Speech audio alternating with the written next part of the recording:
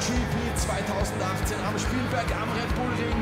Der Einteil-Motorradkoppel von der Partner in Rot, der Herr Lorenzo. Ganz rechts und die Ducatis und die standen schneller als der Weltmeister. Die Desmos Medicis haben alles vorbereitet. Herrn Marc. Also da, der Marc in dem Ducati-Sandwich, da hat er es wirklich nicht leicht gehabt, oder? Genau. Einer ist immer da. Es ist immer ein Roter da. Ja, so, so, durchzogen einfach. Aber das war, das war schon wirklich nur eine Spur einfach härter, wie es da hin und her gegangen ist.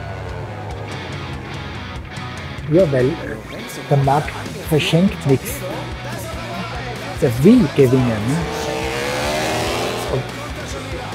Und, in so einer Position wie da der Lorenzo war, wie gesagt, ist absoluter Glücksgriff. Aber wieder? Das war schon fast Motocross-Style. Ja, es hat nicht kapiert. Ja, schau, das war's. Wow.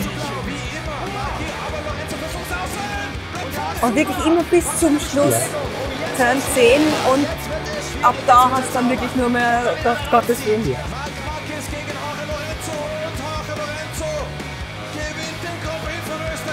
Aber du weißt, du weißt, wie das Rennen ausgeht und vergisst trotzdem aufs Atmen. Ja, voll, komplett.